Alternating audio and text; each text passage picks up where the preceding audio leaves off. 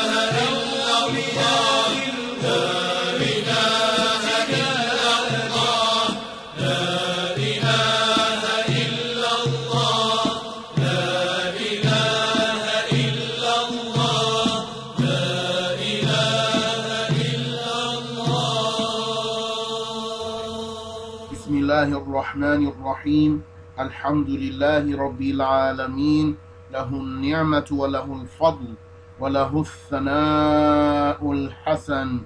صلوات الله البر الرحيم والملائكة المقربين على سيدنا محمد الصادق الوعد الأمين وعلى آله وصحبه الطيبين الطاهرين.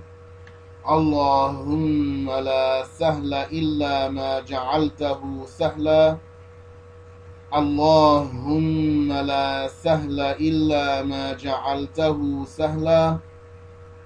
اللهم لا سهل إلا ما جعلته سهلا.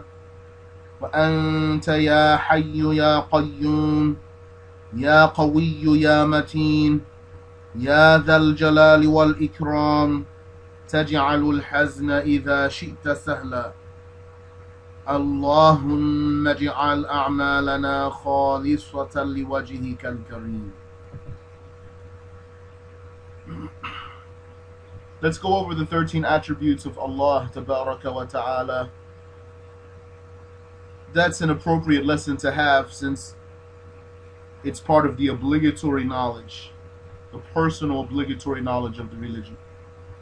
Now, not every detail that I'm going to mention is a personal obligation, but this is part of the obligatory knowledge.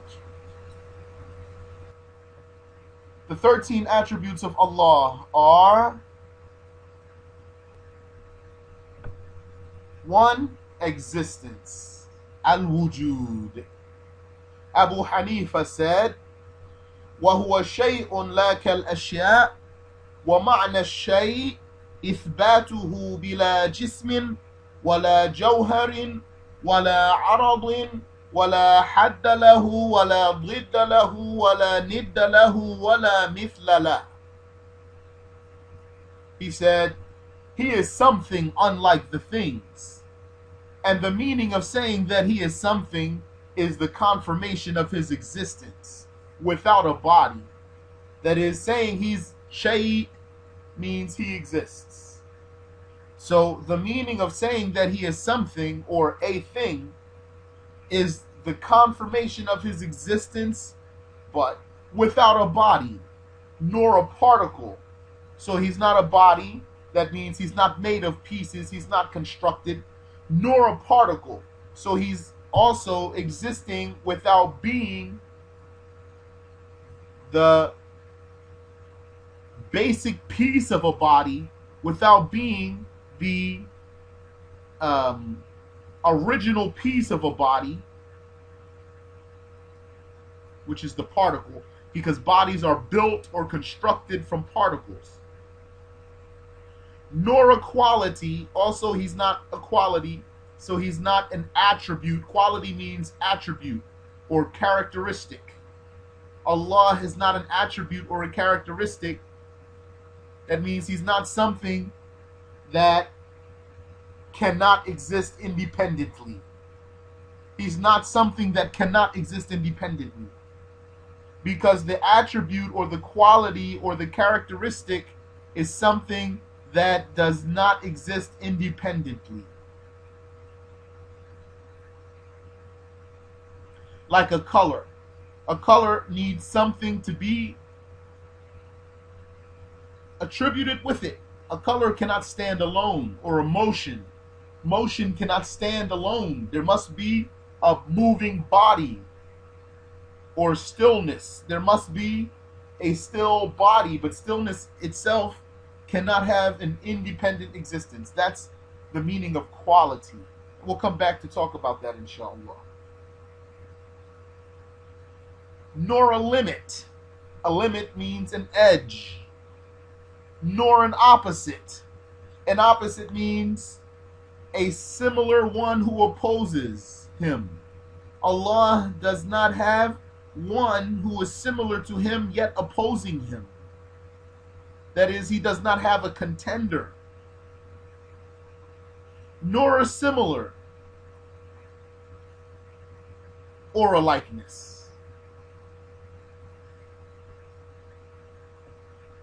in explicitly stating his existence, and Nasafi said, وَالْمُحْدِثُ لِلْعَالَمِ هُوَ اللَّهُ تَعَالَى The one who made the world occur is Allah the Exalted. It means He exists. So even without using the word exist, without explicitly saying the word exist, He's saying Allah exists. What he's saying in this statement is that the world exists and Allah exists. He's telling you this world exists and it didn't exist on its own. And so the one who made the world occur is also existing. And he is Allah the Exalted. The one who made the world occur, his name is Allah. But if you debate with a person like an atheist about the one who made the world occur, you don't have to say that his name is Allah. That's not a condition for the sake of the debate that you tell him that his name is Allah. Rather, you can refer to him as the creator, for example, or the one who made the world exist.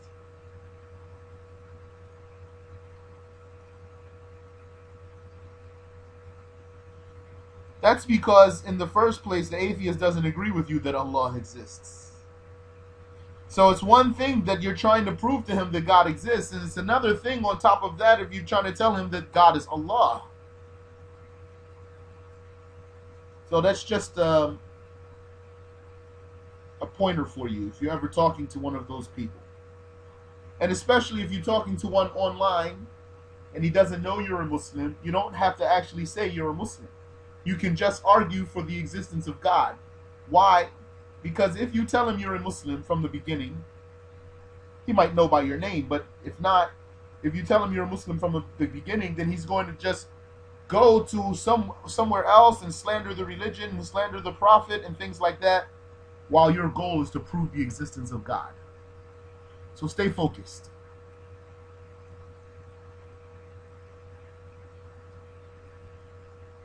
Allah says in the Quran, Afillahi shak, it means,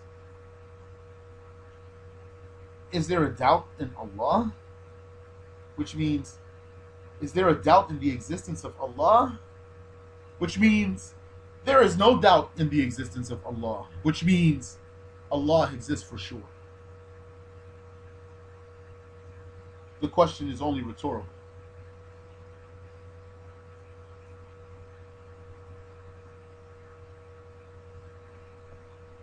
Number two, eternity, al-qidam or al-azal. Al-Tahawi said, qadimun bilabtida, eternal without a beginning. That means Allah exists and his existence was not preceded by non-existence. The existence of Allah was not preceded by non-existence.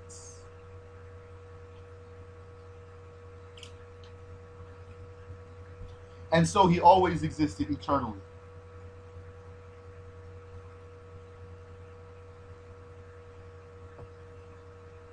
And Allah says, Huwa al-awwal, which means He is the one who exists without a beginning. He is the first, which means he is the one who has no beginning for his existence. Number three, everlastingness. Al-Baqa. Abu Hanifa said, لم يزل ولا يزال بأسمائه وصفاته الذاتية والفعلية which means he never ceased to be. So he will always be existing. Non existence does not occur to him. And he shall not cease to be named with his names and attributed with his attributes of the self and his attributes of doings. We already said Allah is attributed with attributes of the self. And also Allah has attributed with attributes of doings, which is his creating. Allah creates. Allah is the one who creates life. Allah is the one who makes the living die. Allah is the one who grants the sustenance. Allah is the one who restricts the sustenance. Allah tabaraka wa ta'ala is the one who grants high status. Allah ta'ala is the one who gives low status. Allah is the one who makes one die as a believer. Allah is the one who makes one die as a kafir, etc. Those are the attributes of doings. At-Tahawi said, دائم بلا انتهاء لا يفنى ولا يبيد which means he's everlasting without an end. He does not perish nor go out of existence.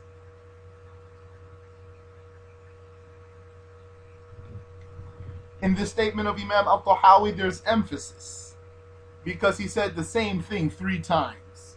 He said, Da'imun bilantiha. He's everlasting. Eh, four times. Da'im. He's everlasting. Bilantiha Without an end. La yafna. He does not perish. Wala yabid. And he does not go out of existence. دائم بلا انتهاء لا يفنى ولا يبيد Abu al-Muzaffar said, وَأَن تَعْلَمَ أَنَّ لَهُ بَقَاءً which means, and that you know that he has everlastingness. And Abu al-Muzaffar, he's the author of At-Tabsiru fi Din, which is a summary of Al-Farq Bayn al-Firaq. In that book, he has a section about the creed of Ahlul Sunnati wal Jama'ah. Maybe one day, inshallah, we can go over it. It's very beneficial and very beautiful.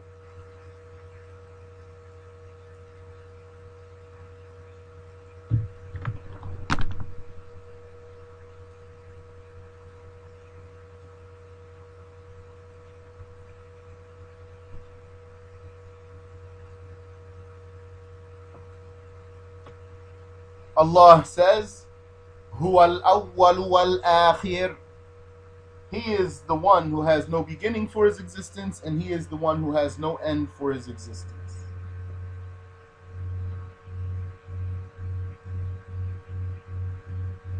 Number four, oneness. Al-Wahdaniyah. Abu Hanifa said, والله تعالى واحد لا من طريق العدد ولكن من طريق أنه لا شريك له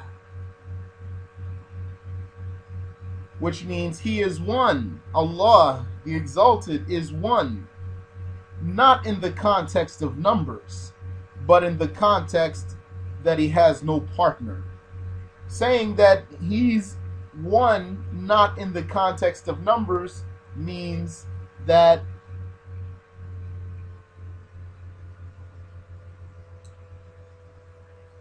when something is one in the context of numbers, that does not negate that there's another like it. So, for example, I'm one person, but that's in the context of numbers because there's another person. And so Allah wa ta'ala is one, but not in the context of numbers because he has no partner.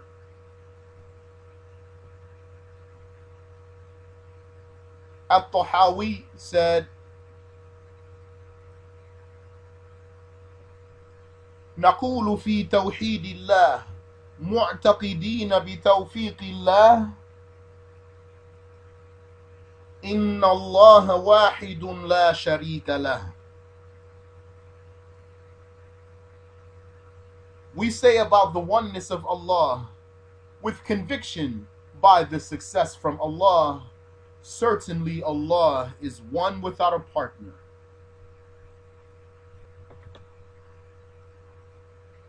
And his statement here, by the success from Allah, the God given success, he means by the power from Allah to do the good. The tawfiq is Allah creating in the slave the power to do good. Allah is the one who creates in the slave the power to do good and the one who creates in the slave the power to do evil.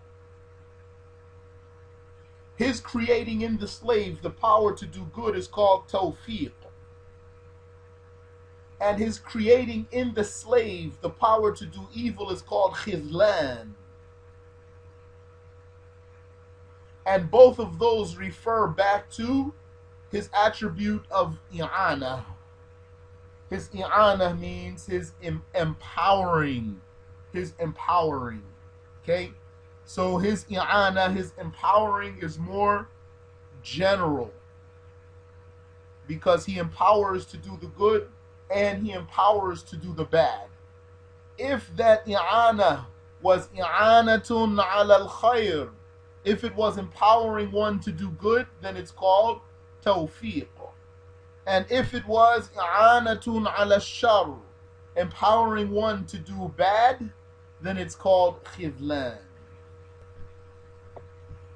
Abu al-Muzaffar said, وأن تعلم أن أن خالق العالم وأن تعلم أن خالق العالم واحد and that you know that the creator of the world is one.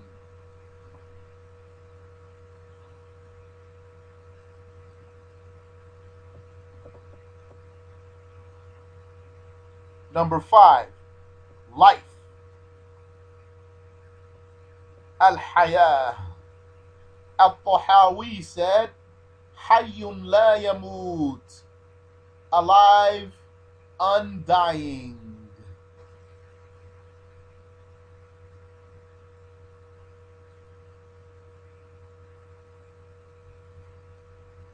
Number six, Al Ilm knowledge. Abu Hanifa said, وكان الله تعالى عالما في الأزل بالأشياء قبل كونها. In eternity, Allah the Exalted was knowledgeable about the things before their being, before they existed, before they came into existence. He was knowledgeable about them and he knew about them.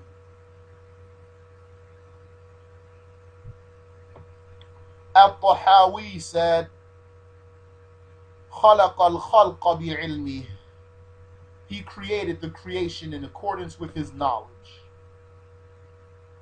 That means the things come into existence as he knew they would come into existence.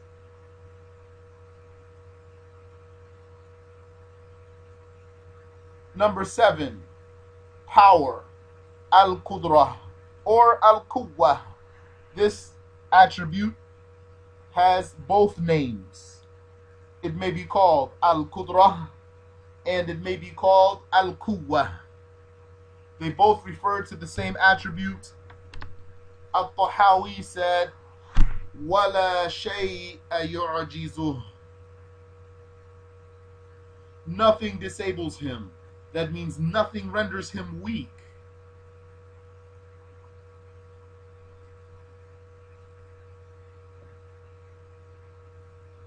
Number eight, Al Mashi'ah or Al Irada. Those are both names for the same attribute. Al Tahawi said, ولا يكون إلا ما يريد nothing will be except what he wills النسفي said والإرادة صفة لله تعالى أزلية قائمة بذاته تعالى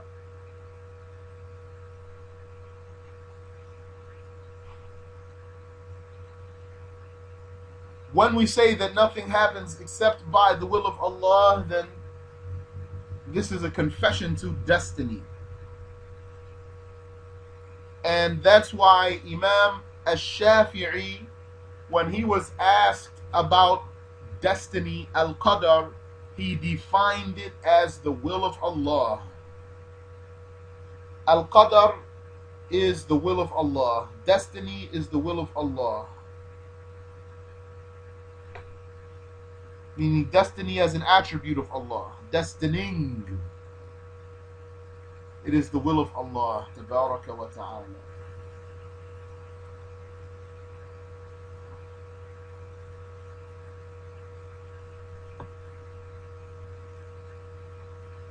Nine, sight, al-basar. Ten, hearing, as-sam' Al-Tahawi said,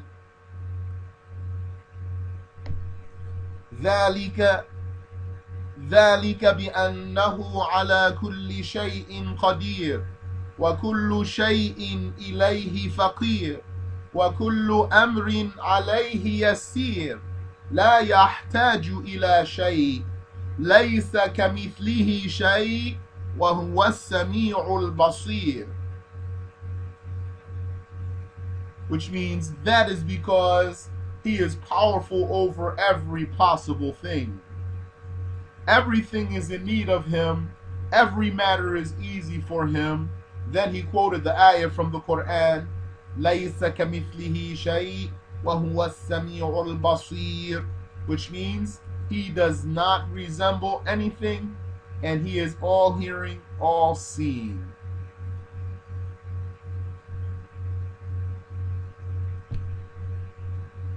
Abu al-Muzaffar said, وأن تعلم أن له حياة وقدرة وعلما وإرادة وكلاما وسمعا وبصرا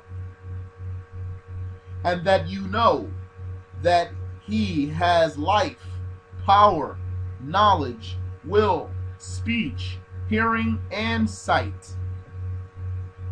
And Nasafi said, الواحد القديم الحي القادر العليم السميع البصير الشاء المريد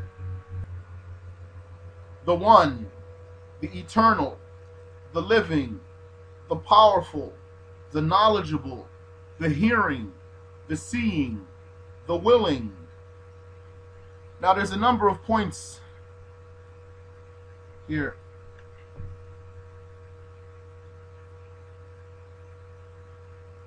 just back up a little bit. So Imam Al-Tahawi he said ذلك بأنه على كل شيء قدير and in the translation we said that is because he is powerful over every possible thing we put possible in parentheses because this is the creed of Ahlus Sunnati wal Jama'ah that the power of Allah is related to the possible things.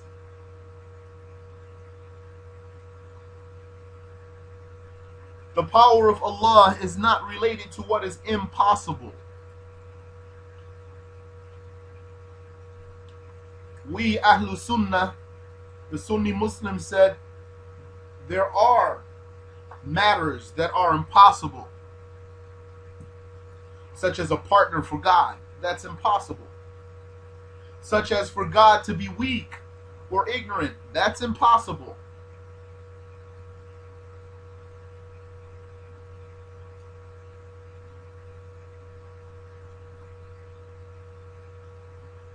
His power is not related to what's impossible because the impossible does not come into existence. And by his power, he brings the non existent into existence.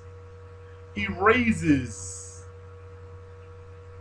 the existent thing from nothing by his power. And the impossible does not come into being because it's impossible. By definition, it wouldn't happen. It's impossible. So the power of Allah is not related to it. Also, the power of Allah is not related to what is necessary. And the necessary is the existence of God Himself. Allah's existence is necessary. God must exist. His existence is necessary. Since his existence is necessary, that means non existence does not apply. And if non existence does not, does not apply, then his power is not related to himself. His power is not related to what's necessary. Why? Because by his power, he raises the existent thing from nothing, from non existence.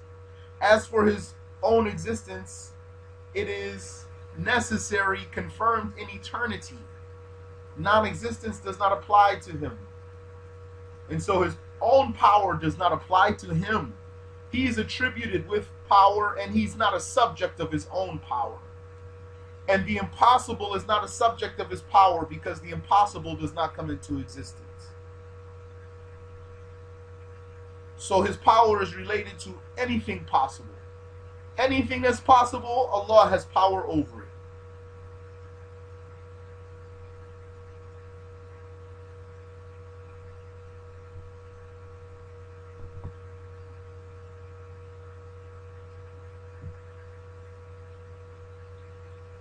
Here in this statement, Abu al-Muzaffar said, وأن تعلم أن له حياة وقدرة وعلما وإرادة وكلاما وسمعا وبصرا and that you know that he has life, power, knowledge, will, speech, hearing, and sight, this is a confirmation of Allah's attributes.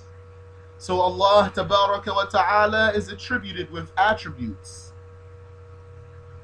And as for Imam An-Nasafi's statement here, الواحد al-Sami' al-Basir السميع البصير al-Murid," the one, the eternal, the living, the powerful, the knowledgeable, the hearing, the seeing, the willing. This is a confirmation of his name In Arabic, that is. Al-Wahid is the name of Allah. I'm not claiming that all these expressions in English are names of Allah. A name of Allah is is something by which you can call Allah. Like you say, Ya Allah, Oh Allah. You say, for example, Ya Wahid, Oh the One. But in English, you don't say, Oh the One, for example. Or you don't say oh one, for example. Wa alaykum assalam wa rahmatullah. So that's why we don't say that those are names of Allah. You can say Ya Qadim, Ya Hayy, Ya Qadir, Ya Alim, Ya Sami', Ya Basir. And you don't say yeah, oh, powerful, oh, knowledgeable, for example.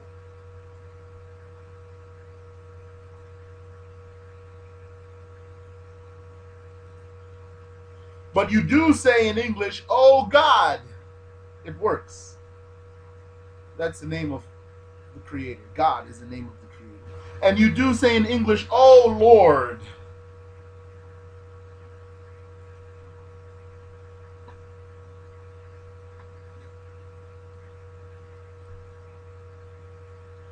Now, as for Ash-Sha'i and Al-Murid, as An-Nasafi mentioned, those were not listed uh, in the names of Allah that came from the Prophet sallallahu alaihi wasallam. It's not confirmed from the Prophet sallallahu alaihi wasallam that he referred to Allah as Ash-Sha'i or Al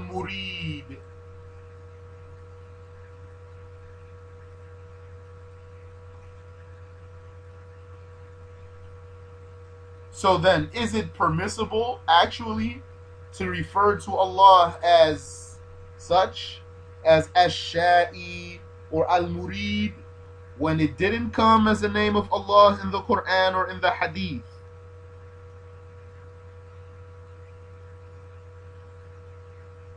What's correct and strong is that it is not permissible to name Allah with any name that he didn't name himself or that the Prophet didn't name.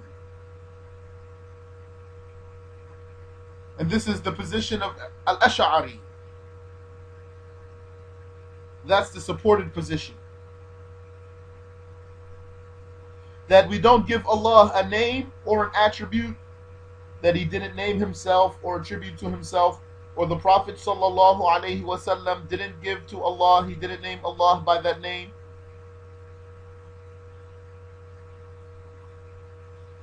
Even if it came from a companion even if a companion said a name, gave Allah a name that Allah didn't give himself and the Prophet didn't give to him, what's correct is that it is not taken or an attribute, a name or an attribute.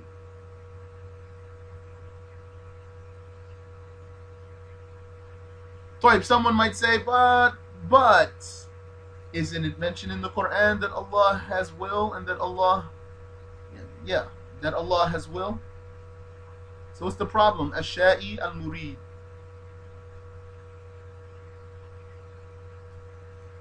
It can be said that according to the saying that it is not permissible to name Allah with a name that he didn't name himself, then even if a verb is mentioned in the Quran, for example, we stick to the verb and then we don't turn it into a name also.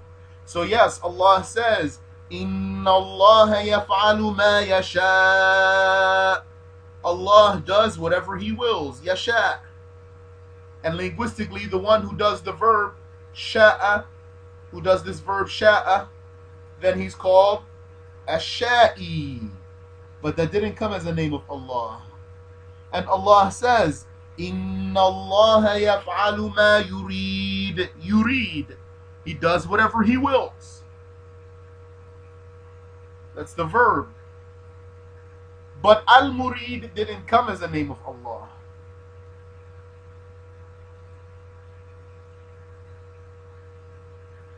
And that's a long issue and uh, a lesson in itself.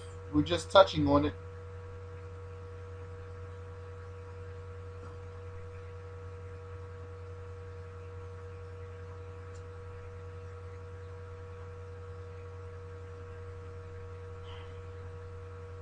So know that. that that's an issue that we're not going to go further now. We're just going to keep it simple for tonight, inshallah.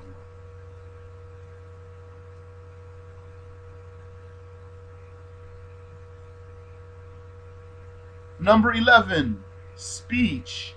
Al-Kalam. Al-Tahawi said, وَإِنَّ الْقُرْآنَ كَلَامُ اللَّهِ Which means Certainly the Quran is the name of the speech of Allah with the word the name of in brackets.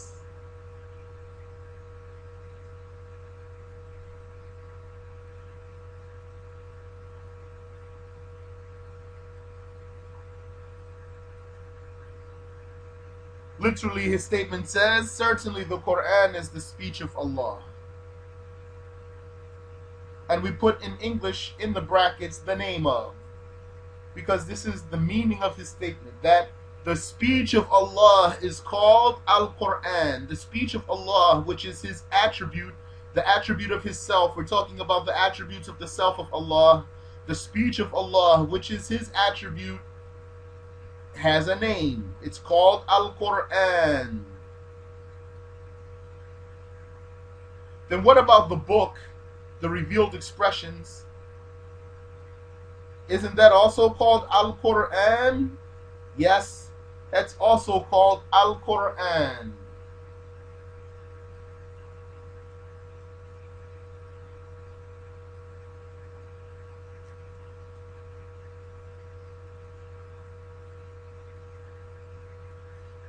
But meaning that it refers to Al Quran. The revealed expressions were called Al Quran because they refer to Al Quran. And what's Al Quran? The speech of Allah. It was called Al Quran because it refers to Al Quran. And that's normal. Naming something after what it refers to is normal. As simple as drawing a stick figure on the board and putting a name under it. So, for example, if someone drew a stick figure on the board and he wrote under it Ra'id, what is he saying or what is he doing here? He's saying this stick figure refers to Ra'id and therefore I'm naming it Ra'id. He's saying if someone were to ask him, who's that? He would say, that's Ra'id.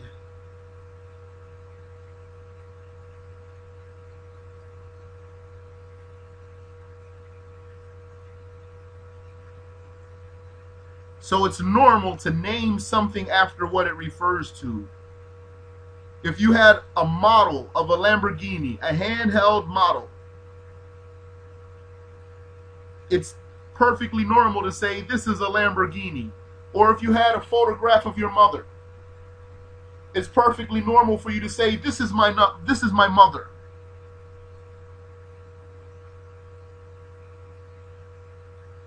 So the revealed expressions, because they refer to the Quran, then they were called the Quran. Is that clear? Therefore, Al Quran has two usages.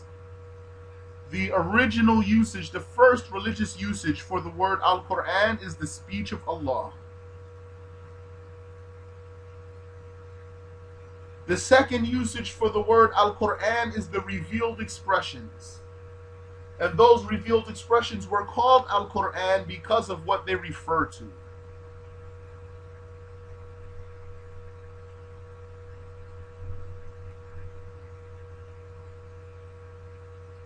Is that clear? Any question about that?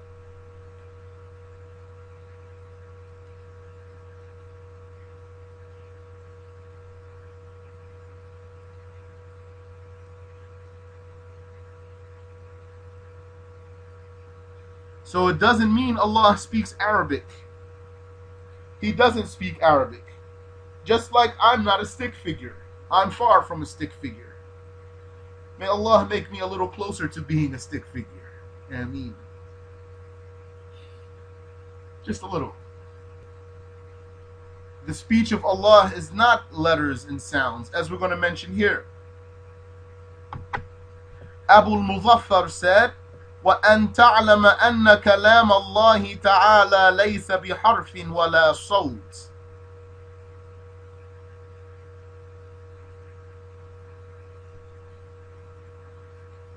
and that you know that the speech of Allah is not a letter and not a sound. Question So is it correct to say that Allah created sounds that Jibril conveyed to Rasulullah, Rasulullah, Rasulullah sallallahu alayhi wasallam, it is it is it is valid to say that. It is valid to say that. It is valid to say that Allah tabaraka wa ta'ala created a recitation of the Quran for Jibril to hear. And so he heard the Quran and also he saw it written in the guarded tablet. And so he took what he heard and saw and taught it to Muhammad sallallahu alayhi wasallam.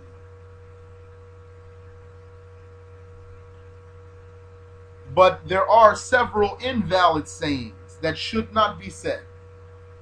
It should not be said that Allah recited the Quran to Jibreel And it should not be said that Allah spoke to Jibril with his uncreated speech, so it's not Arabic,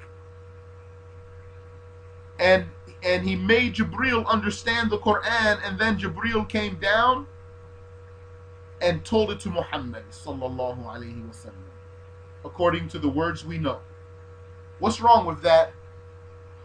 What's wrong with that is that it's saying, according to that, it means that the the the, the revealed expressions are the composition of the angel. If someone says, well, Allah spoke to Jibril with his uncreated speech. If someone says, yes, it's true, Allah has the uncreated speech, he didn't speak Arabic. Yes, that's true. He spoke to Jibril with his uncreated speech, and Jibril understood from his uncreated speech the Quran and went down and taught it to Muhammad. This is wrong saying. Why? Not because we're not saying it's wrong that Jibril hears the uncreated speech. No, that's not wrong. It's wrong to say that Allah spoke the Quran to Jibril with his uncreated speech, and then Jibril understood from that uncreated speech the Quran and then expressed it with his own words to the Prophet sallallahu alaihi wasallam.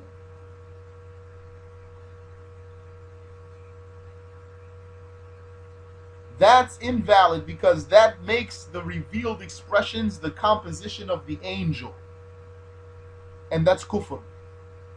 So both of those are kufr. To say that Allah recited the Quran to Jibril, that's kufr. Because that's saying Allah speaks Arabic. And to say that Allah spoke the Quran to Jibril by his uncreated speech, and then Jibril taught Muhammad his understanding so he composed those letters and sounds of the Quran that we know today. That's kufr too, because that makes the Quran, that makes the text of the Quran the composition of the creature.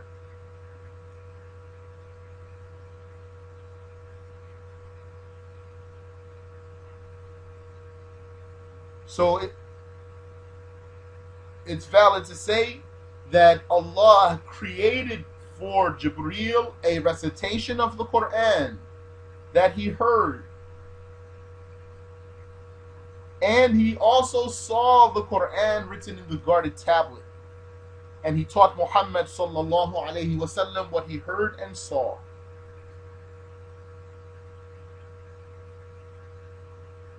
Question What is linguistic meaning of Quran? Al Quran linguistically means Al Qawl, that is, Al Quran is sifatu al mutakallim, is, is the attribute of the speaker, meaning Quran is is masdar of qara'a yaqra'u. You call qara'a yaqra'u Qur'anan qara'a yaqra'u qira'atan wa Qur'anan. Qara'a yaqra'u wa Qur'anan. So Quran is a masdar for yaqra'u. Qara'a, which means literally to, to recite or to read.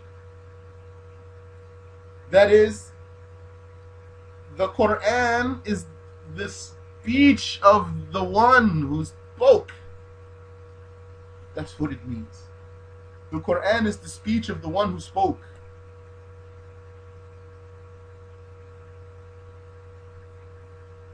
So from this meaning, Allah's attribute is called Al-Quran.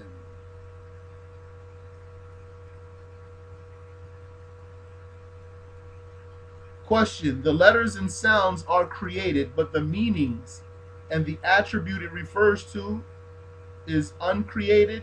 Say the letters and sounds are created and what it refers to is not created, which is the uncreated speech of Allah and, and stop there. And the word meaning, just scratch it out. The speech of Allah Ta'ala is not created. And, and don't go further.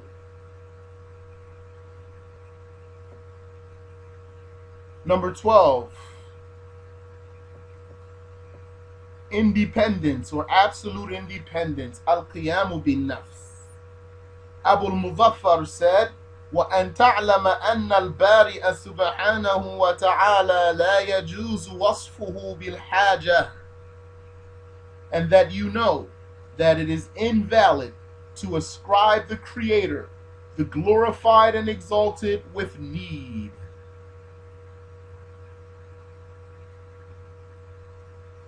So Allah does not need anything. Al-Tahawi said, لا يحتاج إلى شيء. He does not need anything. And 13, dissimilarity to the occurrences. Al-mukhalafatu lil hawadith. Abu al-Muzaffar said,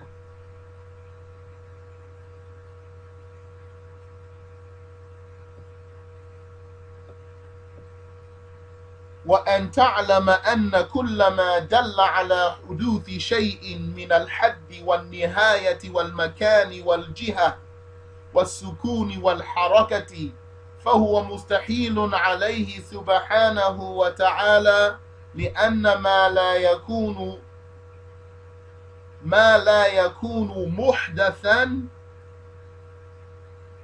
لا يجوز عليه ما هو دليل على الحدوث.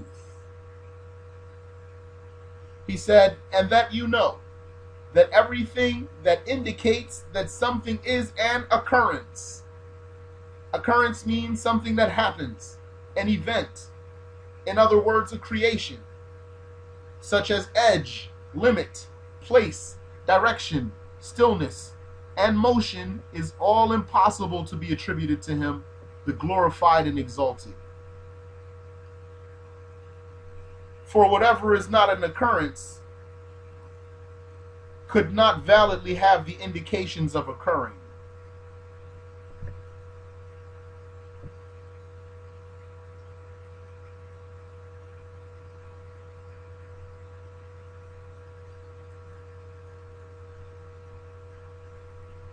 Uh, looks like a piece is missing from the Arabic text.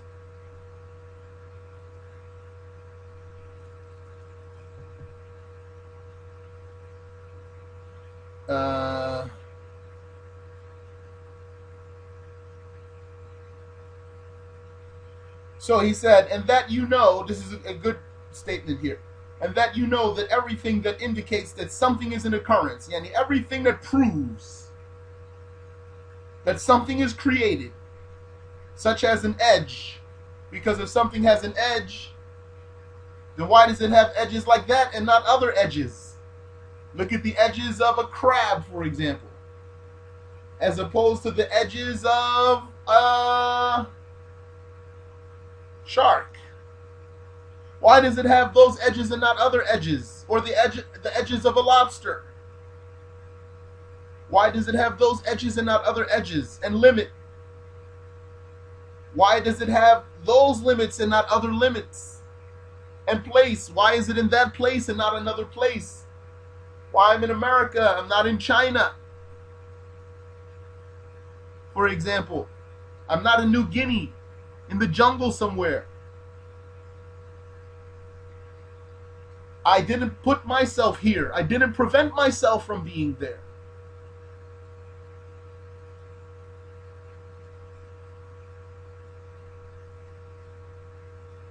place, direction, stillness, and motion.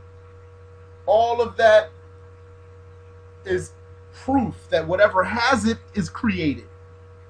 So, in that you know that everything that indicates that something is an occurrence, such as edge, limit, place, direction, stillness, and motion, is all impossible to be attributed to Him. And Wahhabis and those who liken Allah to the creation, they don't understand the statement. It doesn't go into their heads. They don't conceive its meaning.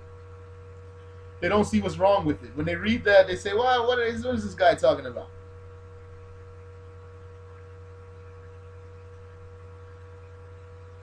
For whatever is not an occurrence could not could not validly have the indications of occurring. It means if something is not created, then it would not have created attributes. It wouldn't have any of the attributes of a creation if it's not created. At-Tahawi said, وَلَا شَيْءَ مِثْلَهُ Nothing is like him.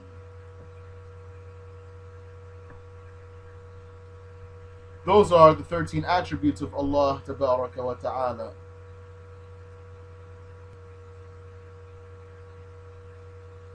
It is impossible that Allah would be attributed with the opposite of these attributes because of what is confirmed by the intellect and the texts of the religion. So let's take a quick look. What are the opposites of these attributes? What's the opposite of existence? Whoa, you sleepy tonight, brothers and sisters, eh? Non existence. So that's impossible for Allah. What's the opposite of being eternal? Eternity.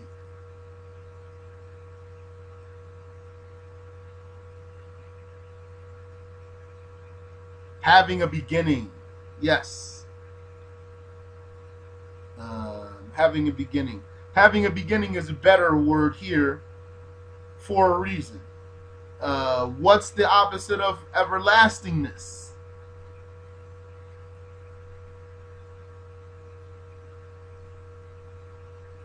Ending, having an end, yes. Um, so that's all impossible for Allah. As for the word finite, yeah, that's impossible. It's impossible that Allah would be finite. But I think the word finite includes both or either having a beginning or having an end. So when we ask what's the opposite of being eternal, it would be being created, having a beginning specifically. And what's the opposite of being everlasting? It would be having an end.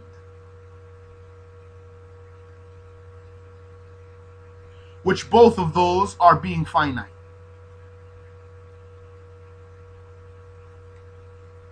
Um, what's the opposite of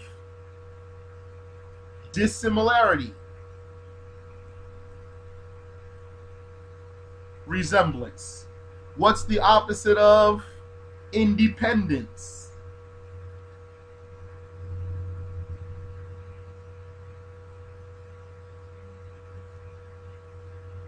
Dependence. Or, in other words,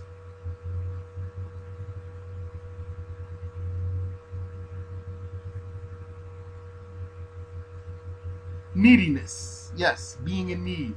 What's the opposite of oneness?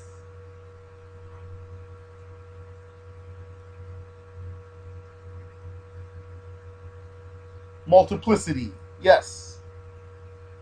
Being many or being more than one or having a partner. What's the opposite of life? Death. What's the opposite of knowledge? Ignorance. What's the opposite of power? Weakness. What's the opposite of will?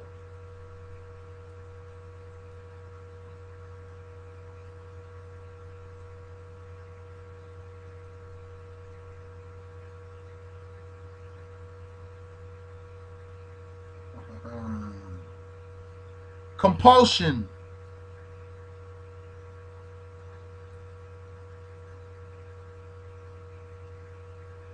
Which indicates weakness also.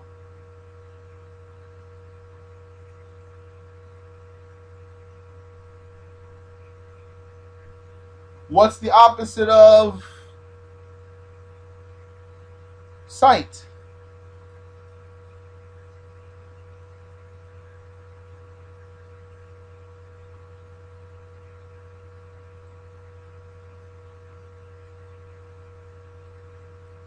Blindness.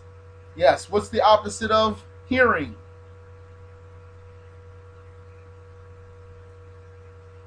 Deafness, correct. What's the opposite of speech or speaking?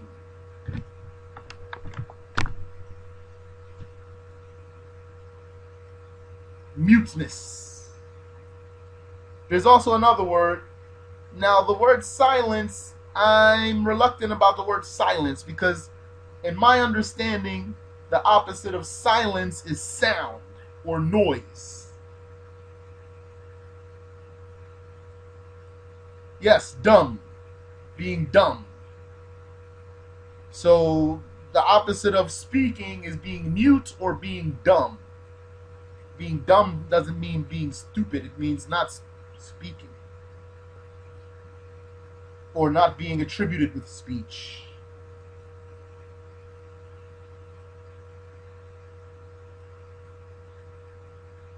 Okay, so it is impossible that Allah would be attributed with the opposites of these attributes because of what is confirmed by the intellect and the texts of the religion.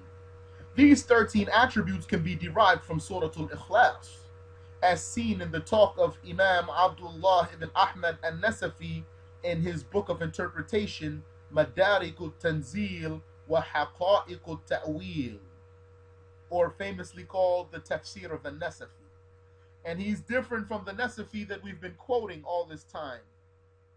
When we refer to those 13 attributes, that's a different Nasafi.